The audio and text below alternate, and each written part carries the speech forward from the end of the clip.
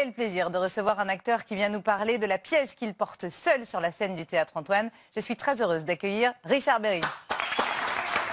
Plaidoirie, justement, vous jouez l'avocat, mais est-ce que finalement les avocats ne sont pas de très bons acteurs, sont de bons orateurs aussi? Bien sûr, parce qu'il est nécessaire, quel que soit le fond, donc ce qu'ils ont à dire sur les affaires qu'ils plaident, il faut qu'ils soient convaincants. Et à un moment donné, euh, ça rejoint un peu le travail de l'acteur. Il faut arriver à, à changer les esprits, à convaincre des gens qui sont peut-être pas au départ tout à fait d'accord avec vous. Euh, Parmi toutes ces plaidoiries, euh, Richard, que, que vous interprétez, est-ce qu'il y en a une qui vous touche plus?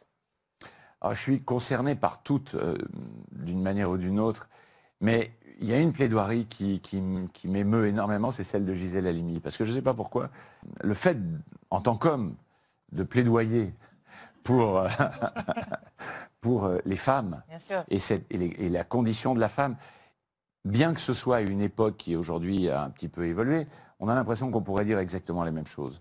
Donc euh, j'aime bien l'idée, comme j'ai trois filles, moi, de, de défendre la cause des femmes à travers la plaidoirie de Gisèle Halimi et de devenir une femme sous ma robe l'espace de, de. Ouais. Richard Berry, je rappelle que votre pièce Plaidoirie est au théâtre Antoine. Juste avant qu'on se quitte, s'il y avait une grande cause pour laquelle vous aimeriez plaider aujourd'hui, ce serait laquelle?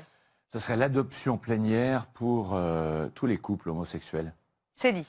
Mille merci d'avoir été avec nous. Bon week-end, Nicolas. Bon week-end à tous et à lundi. Ciao.